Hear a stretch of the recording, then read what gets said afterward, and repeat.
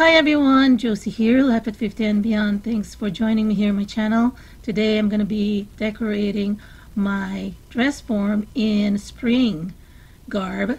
As you can see, this is still in winter garb. Even though it's still technically winter, I know that a lot of you cannot wait for spring. And here's the picture of the finished project. Now, if you recall, I made a couple of this back in December. To those of you who are following my channel closely, I created one in glam style and I'll be inserting the video in the upper right hand corner of that one. That was the very first one that I did, the glam style for the holidays and also this one, a traditional or a farmhouse style and I'll be also linking the video for this one and how I created this. I want to apologize also that my voice is too raspy right now because I'm kind of battling a cold and I just want to get this done because I know that everyone is gearing up for spring like I said now anyway I'm gonna be showing you or inserting a clip of how I assembled the base for this one using two black wired waste baskets from the Dollar Tree and for the stand I used two stainless steel paper towel holders. To create the base of my dress form I am going to be connecting two wire waste baskets that I got at the Dollar Tree. I am putting one upside down and one on the top that I'll use as the bust I will be putting on top of it. So that they'll meet at the center. I'm just using the sharp pair of scissors that I got at the Dollar Tree. I didn't need a wire cutter. But if you have a wire cutter or anything like a sharp scissors that I have, go for it. And it's just easy because it's not really tough material. Next, I am placing the basket that I just trimmed on top and this is going to be my torso and I'm going to be using one zip tie to tie the front and then one to tie the back.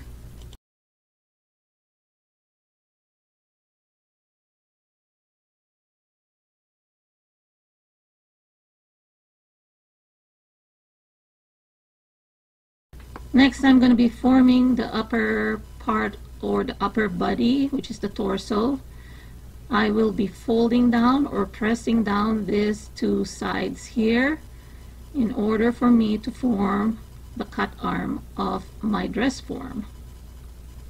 I am just trying to mold it so that it'll look like or imitate the look of a torso. So I'm forming the shoulder as well as the neck. I'm going to be connecting what I would call the shoulder blade and then I'm going to be putting a neck.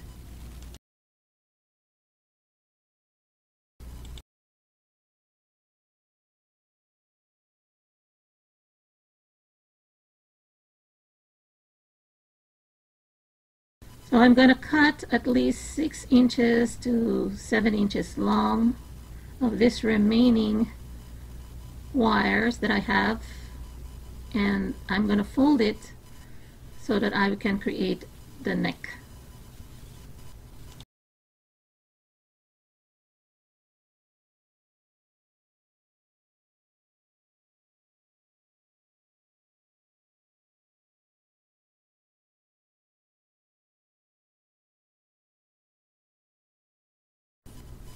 Before I work on the skirt or the lower portion of this mannequin slash dress form, I am going to be forming or shaping the torso inward so that it'll look like it has a more emphasized waistline. In other words, I'm making it curvier, making it a little bit sexier. Just using my palm to create the form. So as you've seen on the photo that I have inserted earlier, the decoration on this one will be a little bit more on the brighter or lighter side because it's for springtime as opposed to the ones that I removed. It's heavier and thicker because it's for winter. So I'm going to be using pink peonies that I got from Dollar Tree. I'm going to be creating a belt that will go around the seams or the waist of this dress form and this will help camouflage the connection or the seams that was created when I connected the two waste baskets. So this will make it a little bit cleaner. I want that there will be two strands or both ends to kind of dangle but I don't want it to be at the center I want it to be offside so I'm gonna do it on the right side or if you're facing the dress form on the left side of the dress form so that I can connect it there because I just want to keep the center or the front free and then I will put some of the peonies on the side.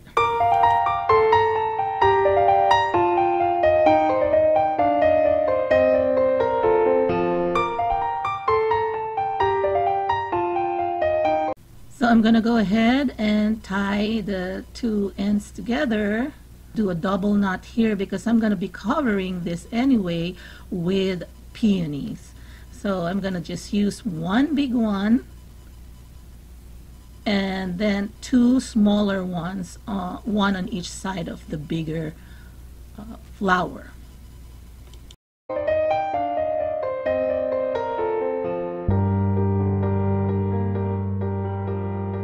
I went ahead and lifted the dress form and I used the same stand that I created previously using two paper towel holders and I'm just going to be putting flowers around the hem or the bottom part of this skirt.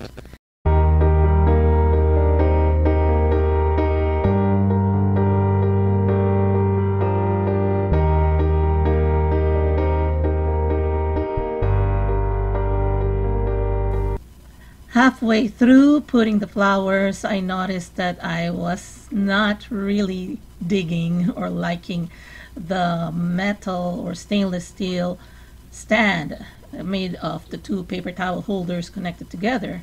And that's the reason why I also omitted that original footage where I connected those two because I've decided to change the stand so that it will be better. I have this black foam core or poster board that I got at I think Dollar Tree also years ago and I have it on hand and I'm just tracing the bottom part or the mouth of the waste basket so I've already made the mistake for you guys so you don't need to do the step the way I did it what you can do is at the beginning before you attach the flowers obviously you go ahead and trace your round base to overcome the challenge I have because I didn't want to remove the flowers, I just turned it around and created the shape of the circle. After I was able to complete the circle or the shape, I am now cutting it with my sharp scissors. It's going to be a little kind of rough on the edges here, but don't worry about it because it's not going to show. It's going to be covered by the flowers. So the moment of truth, let me see if it fits, and voila, it does. Using my wooden rolling pin that I got at Dollar Tree, I'm just using my hot glue in the interest of time, but I would suggest mix it with E6000 or any strong bond glue so that it's going to have a better hold. And right now I'm just using my hot glue because I don't know if I need to disassemble this again if in case it doesn't really work. So I don't want to commit right away. But for you guys please add a stronger bond glue.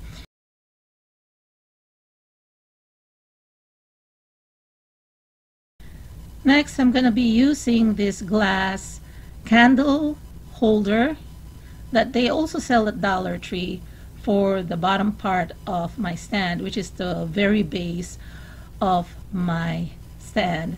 So this way there will be weight to carry the load because even if you try another circle from the foam board, it's not going to hold up, it's going to wobble. So for stability, you need something like this.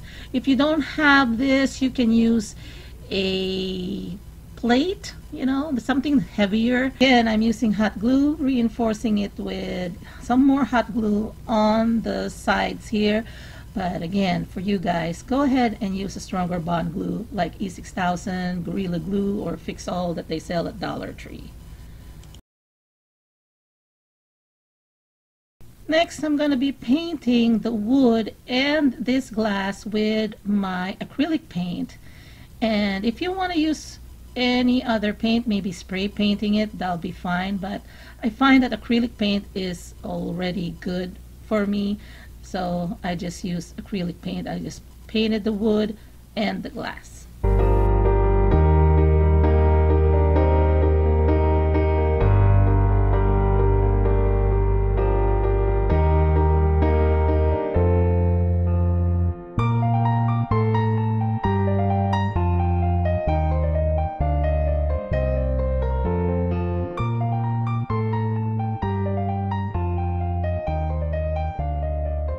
This is how it looks like, my new and improved stand.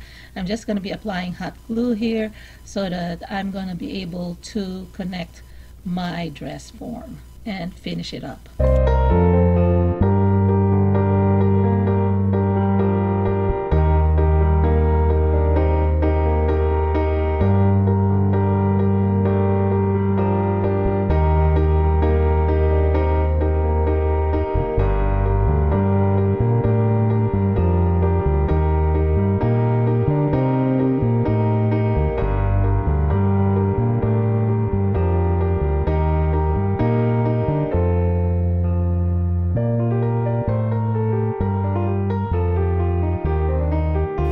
Just using some of my leftover black ribbon and I'm just going to cut a small piece and I'm going to tie it up onto the neck portion so that it will look more finished. It's going to look like a black tie, a more feminine black tie that is.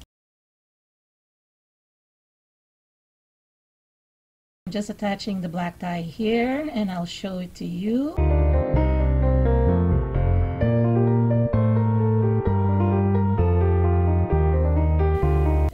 Just put a small piece at the center to make it more finished.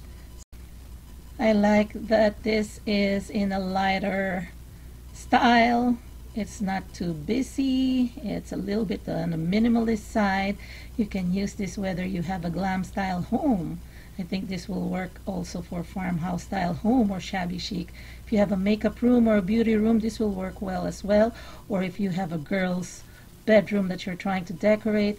Again, for parties like baby shower, even bridal shower, this will work out as well. So I hope you enjoyed this video, everyone, and you will also share to anyone who may be looking into some kind of style that they can use to decorate their home or their parties. And if you are going to be remaking this don't forget to snap a photo and tag me either on Instagram or Facebook. My account information are in my about page of my YouTube channel. Or if you want to, you can send me also an email of the photo. And if you are going to be showing a video of the finished project, don't forget to link back also and give me a shout out. I'd really appreciate it. Hope you all are having a great day and I'll talk to you again on my next video. Take care, everyone. God bless. Bye bye.